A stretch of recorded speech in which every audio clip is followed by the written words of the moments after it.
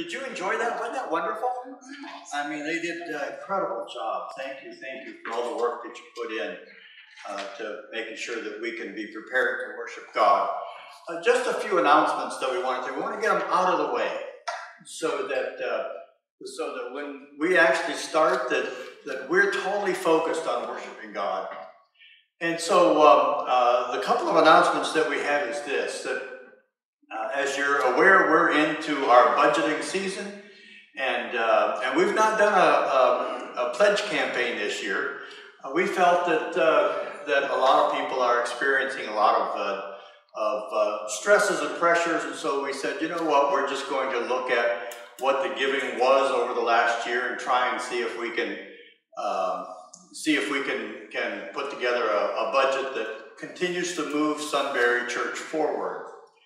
Now, what uh, uh, what we realized when we went back and looked is that normally we have a very strong uh, November and December giving.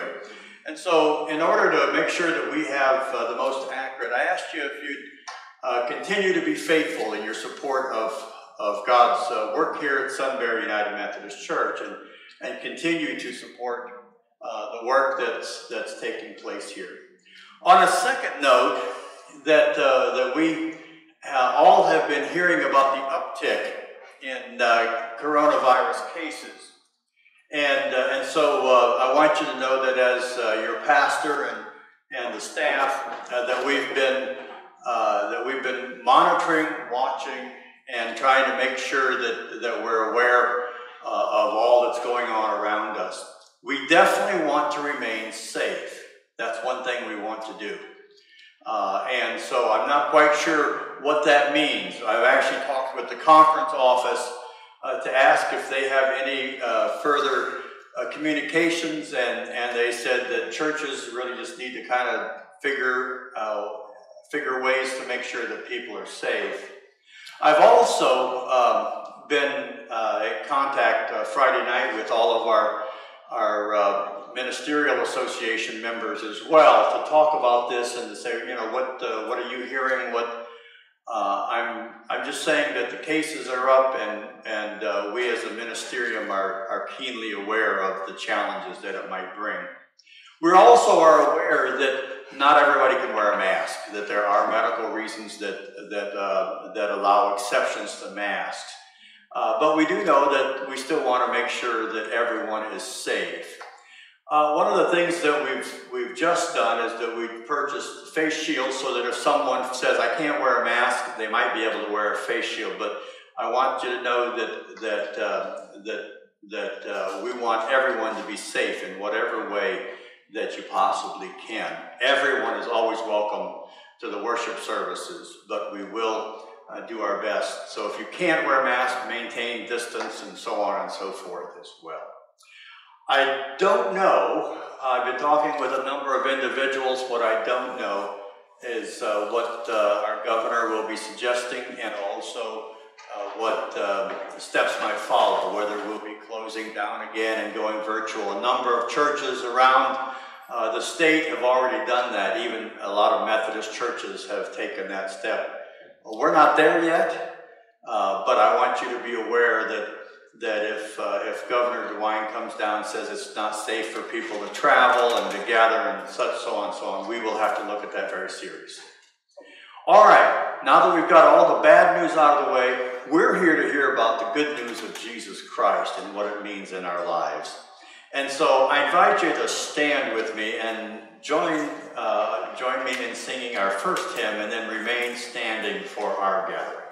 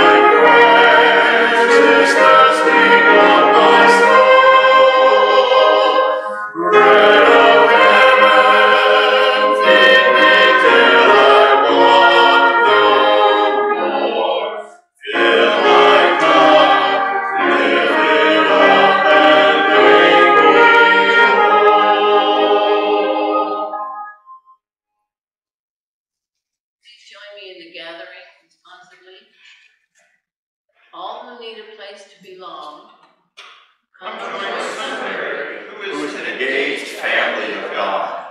all who seek spiritual brothers and sisters, Come join Sunbury, who is a family engaged in each other's lives. all who strive to grow in faith and love, Come join Sunbury, who is a family engaged in learning to grow in our faith. all who are unsure and feel unworthy, Come join Sunbury, who is a family engaged in sharing God's love with everyone. May be seated. As we prepare our hearts to enter into our time of prayer, I uh, invite you to sing along with this course. And, and basically, it says we need to put aside the things that are uh, that are weighing on us, so that God might speak to us. We're going to sing this a couple of times.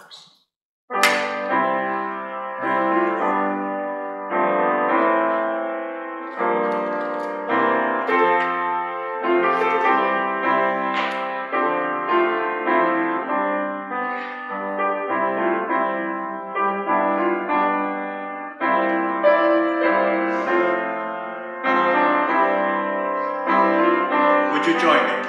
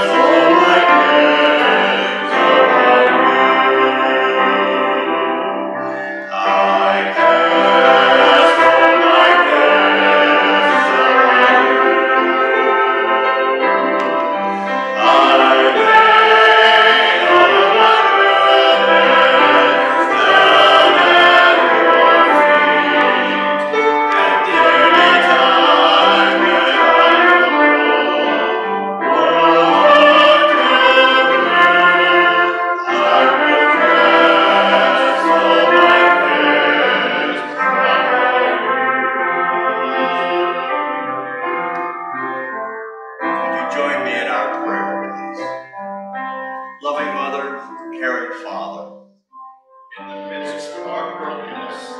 Knit us together as your family, heal our wounded hearts, that we may welcome the strangers into our midst and treat them as beloved sisters and brothers, swing wide open the doors of our church. that all who see the temple of faith may find in these walls a place where God's will is done and holy relationships are nurtured.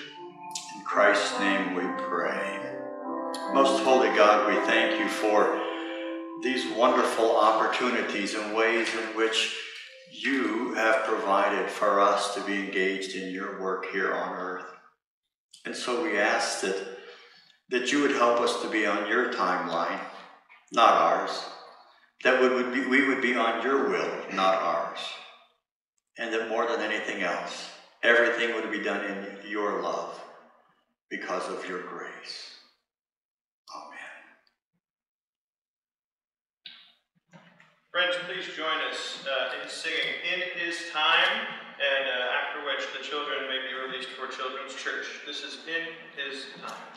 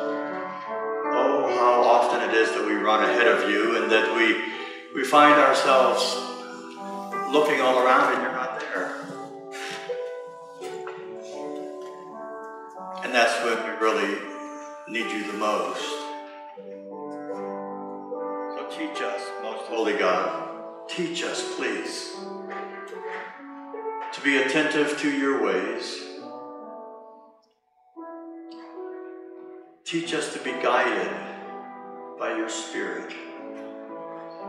And more than anything else, teach us to remain in love with you. In the name of the Father, Son, and Holy Spirit, we pray. Amen.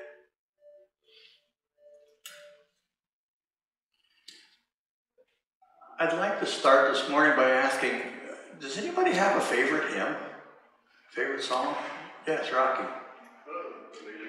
Amazing Grace, yes. Anybody else?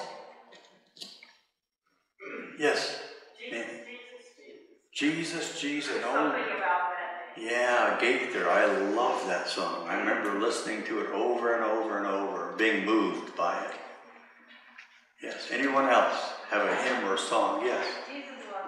Jesus loves me. The old staple tells exactly what it's all about. Yes. Pardon me? Bridges over troubled water, yes.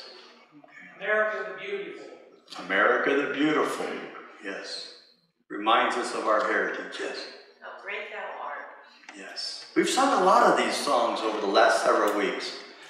We've gone back into our into our heritage, into our history, and, and we've really tr- tried to, to bring those back and remind us of, uh, of the meaning of those songs. And, and uh, but I want to tell you that I can remember it oh so well. Uh, it was about three decades ago. It's hard to think. Some of you might think I've lost it by then. But it was about three decades ago that Catherine and I were serving as missionaries in Zaire, Africa. That's what it was called then. It's now called the Democratic Republic of Congo.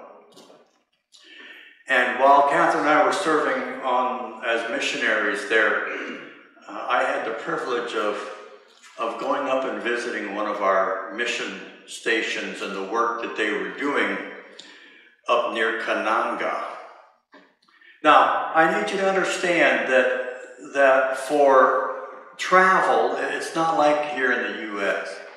They have little airplanes that are maybe four or six seaters, and uh, and and they they were called MAF Mission Aviation Fellowship, and and and they would for cost take you and supplies up to your mission stations.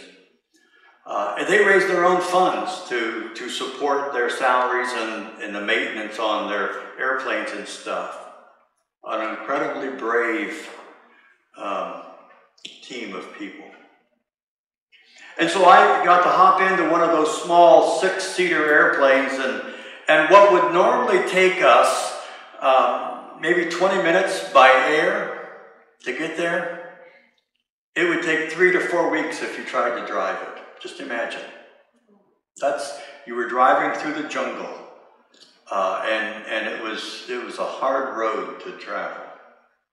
So we were flying up to a mission post up near Kananga, and and, and the tribes people there they they had they had cleared off a, a little strip for the airplane to land and and, and if you know anything about aviation, it was known as a short strip, which means that it was just the minimum to get an airplane up and down. That was it. And as he circled to make sure that there were no animals that were on the, that makeshift runway of, of dirt and clay, he came down and he landed, and there was a couple of individuals that were there, and, and right away they greeted me and said, Okay, Reverend Myers, uh, are you ready? And we walked for about an hour and 45 minutes. And all of a sudden, our guides, my guide stopped. And he started putting his head up and started looking around. Now we were traveling this way. And he was looking up, and all of a sudden he said, We have to go this way. And, and I, I asked him, I said, Well, we were heading this way. What? He said, Well, that's where the music's coming from. I heard no music, my friends. I heard no music. But as we started to walk that way, the sounds of nature began to blend with something else. A faint melody began to be heard as it was weaving its way through the jungle. It grew louder and louder and louder, and eventually, this is what I heard.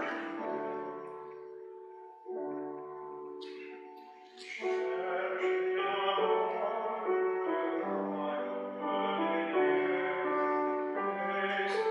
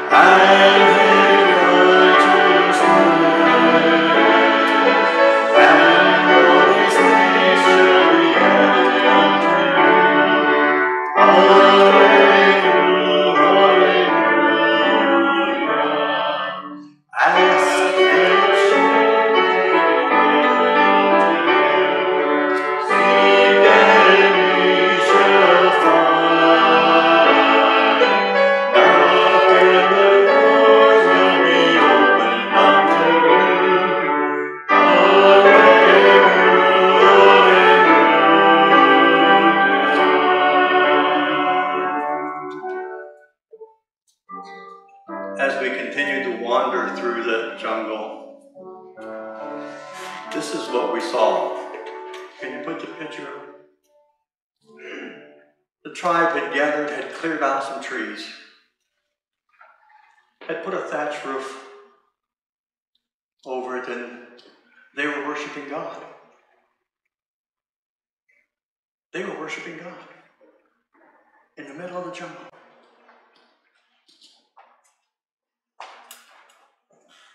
When we arrived at this tiny church,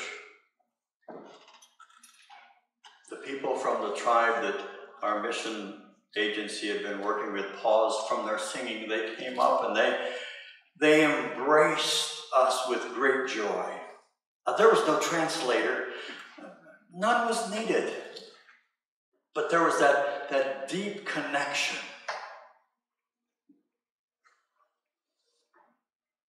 They'd been told that there would be a pastor that would be coming that could play the guitar, and so they had a couple of guitars there, and they handed me one.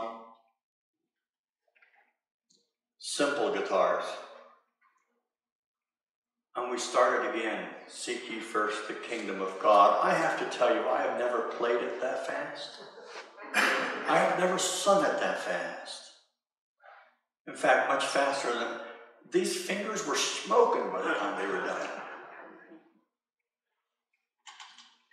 And it was all filled with joys. They're visiting the outskirts of Kananga in the middle of nowhere. And let me tell you, I received this most incredible, wonderful gift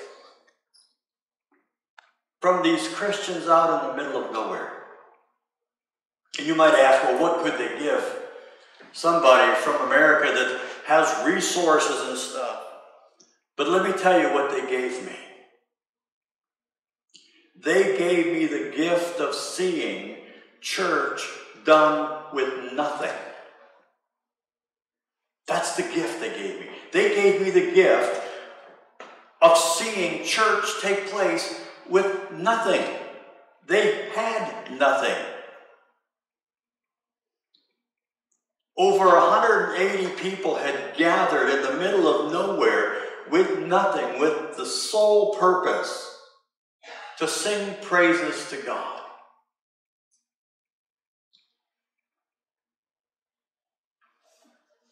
If that wasn't enough, they had a, a young Zaire. You see the red on the side of the screen. That was their song worship leader. She was a young Zairean woman. As everyone gathered underneath there, she would turn around and she would say, 170. Boom, they'd all start singing the song.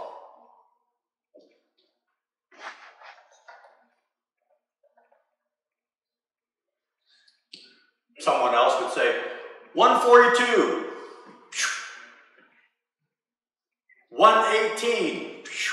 Everybody'd sing. This went on and on for over an hour. Various people would call out numbers and everyone would join the song. the hour went by so quickly. I, I, I started looking around and there was no hymnal. Even the leader had no hymnal with her. I wonder what would happen if, if we were today to say, we're going to sing number 64. We'd probably have Amazing Grace, the old rugged cross, how great thou art, and we'd all sing, but not there. They all sang the same song, every verse.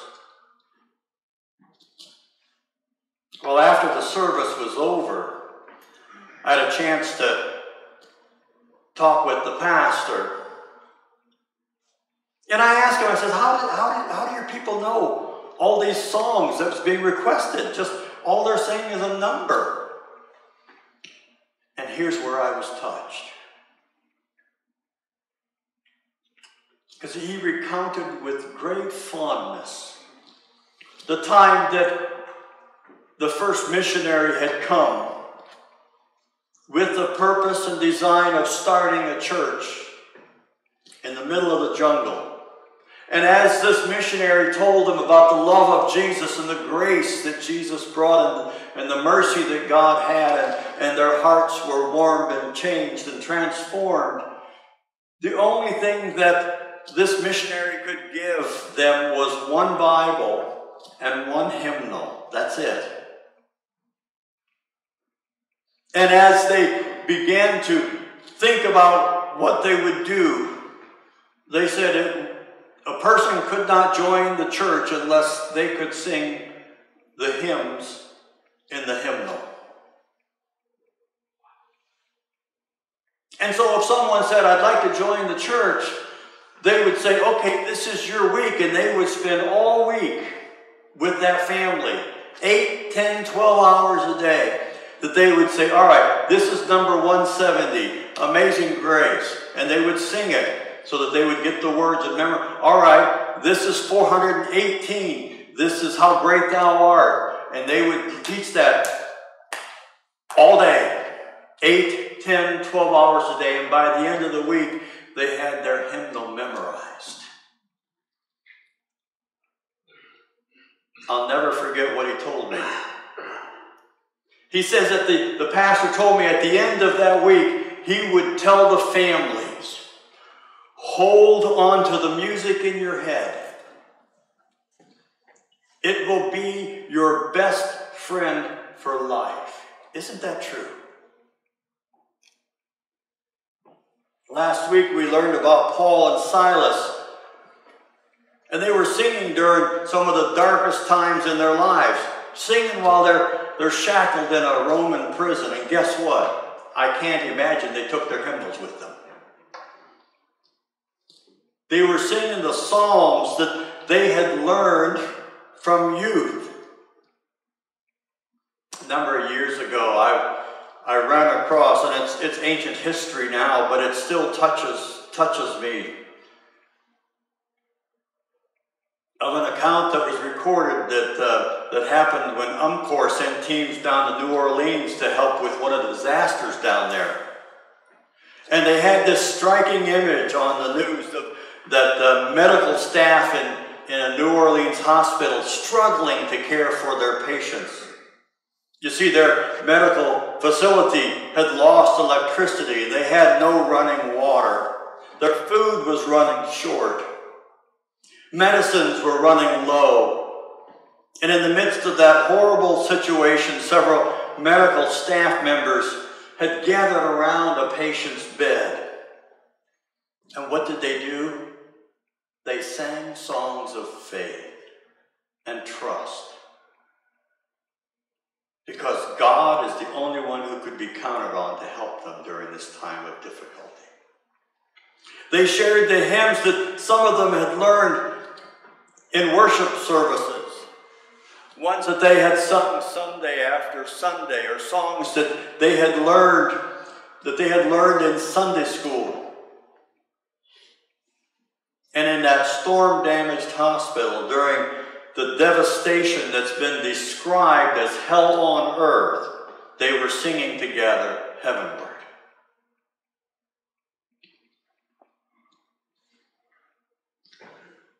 I wonder, doesn't the church have a song to sing?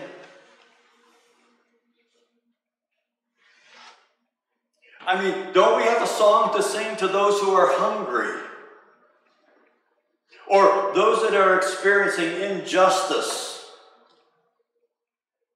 Or those that might be experiencing racism in whatever forms?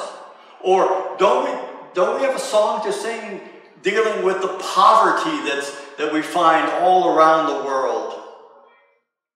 Because the songs of the people of God are, are fundamental indicators that God's wonders has not ceased.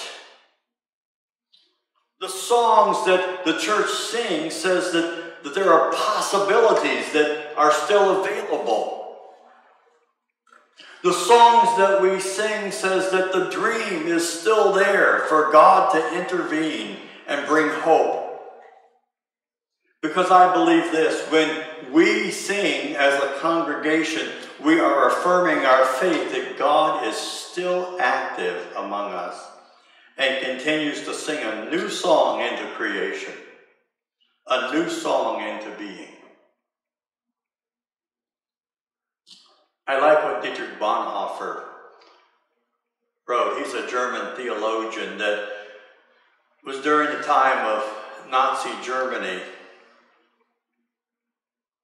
His words are powerful. He wrote, It is the Christ hymn, new every morning, that the family fellowship strikes up at the beginning of the day. That hymn is sung by the whole church of God on earth and in heaven.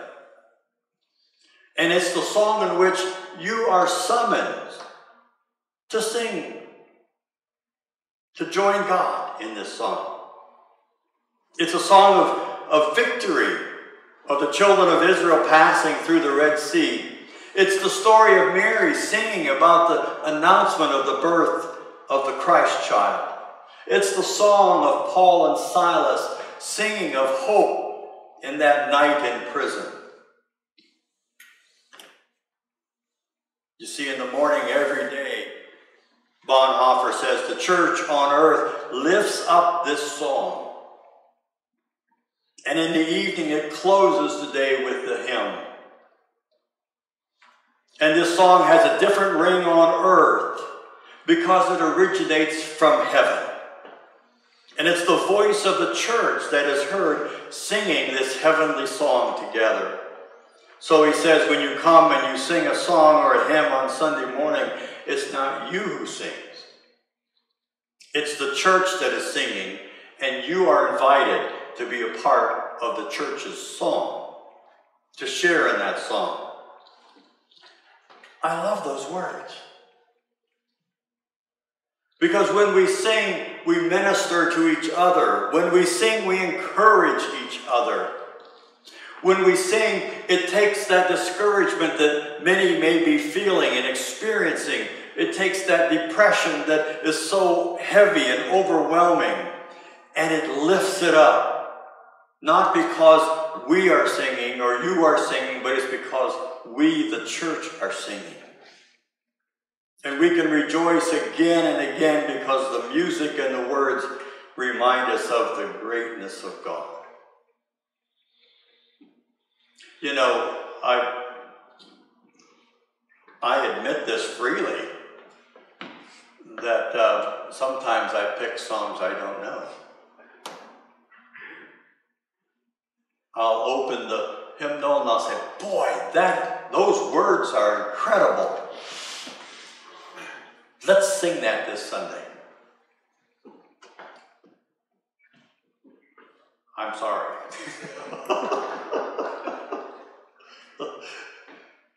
because I'll stand up here and I have no idea what it is. But it's a song of the church. It's a song of the church that you are invited to be a part of. Let me tell you a, a real live illustration. Right here from Sunbury United Methodist Church. It was not too long ago that I chose one of those incredibly new songs that I did not know, neither did anybody else. And we worked our way through it. I don't think it was one of my better song selections.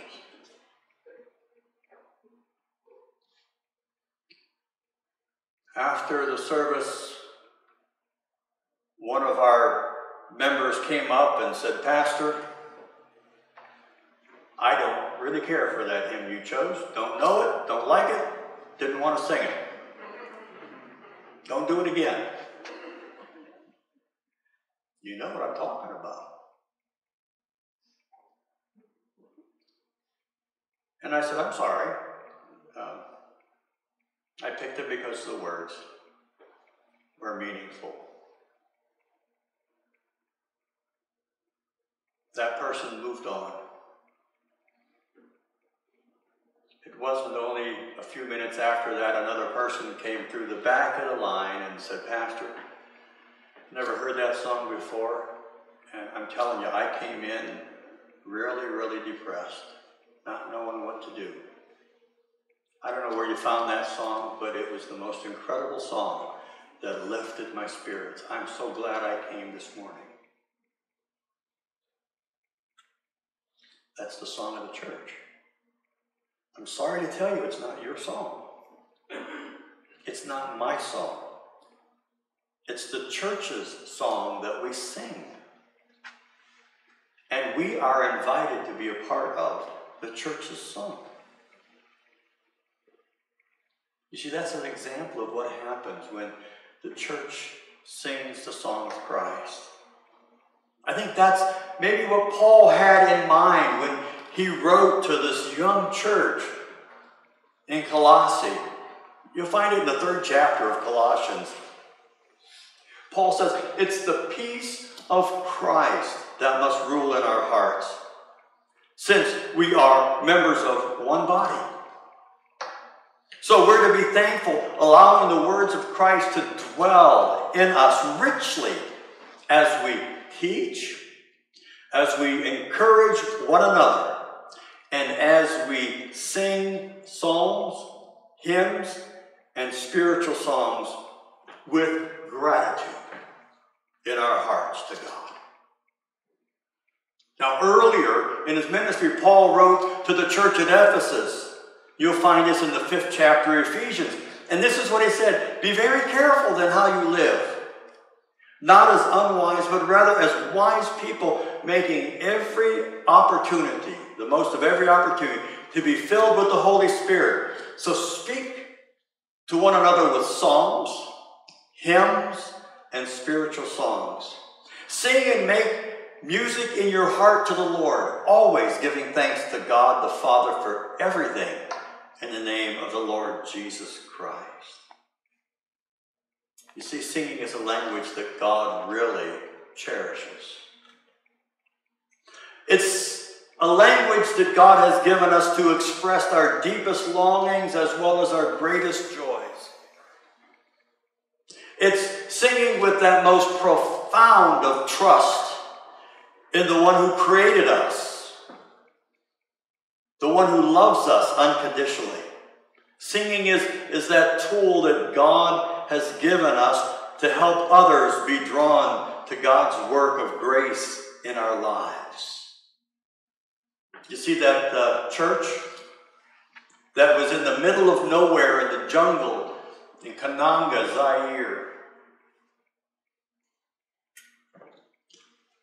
They could point to the places other churches started in other tribes because of their singing and it's waffling its way through the dense jungles of Zaire. Somebody traveling from one tribe to another. Someone out hunting a gazelle. Someone out just exploring would hear the music and would be drawn to the music of the church. Would come, be involved, and leave transformed in such a way that God's kingdom grows. Can we do the same? Can we do the same? Let us pray. Most holy God, we acknowledge that all the music that we sing and play at this church, we offer as a gift for you. For when we sing these songs and play these hymns in this place, we've chosen to bless you. And in return, the music that we send up to you, you send back to us and bless us as well. What we pray is that by your Spirit, that we might find new depths of faith, depths of faith to share this music with others and that it may become our thankful prayer. We thank you for the song in our hearts, and we pray that the praise from our lips and the songs that we sing will not only praise you, but will draw others, will draw others to your kingdom. In the name of the Father, Son, and Holy Spirit, we pray. And all God's people said,